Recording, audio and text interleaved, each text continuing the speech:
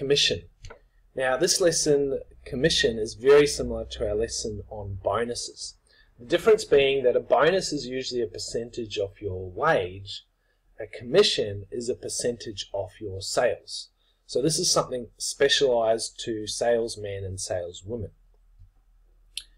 Okay, so um, just to give you an idea of how this works, an employee might get um, 10% 10% off um, off the profits from a sale. From from all sales in fact that they do.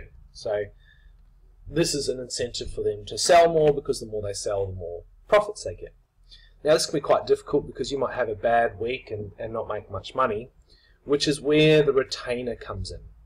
So we also have what's called a retainer and a retainer is usually a very small amount of money, small amount, um, you know, maybe like $200 a week, a very small weekly wage, just enough, enough maybe to cover your food or something like that.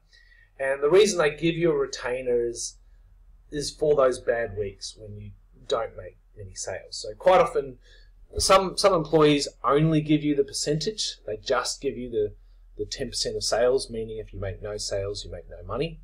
And some employers give you a retainer, but usually if you get a retainer, you get a smaller percentage.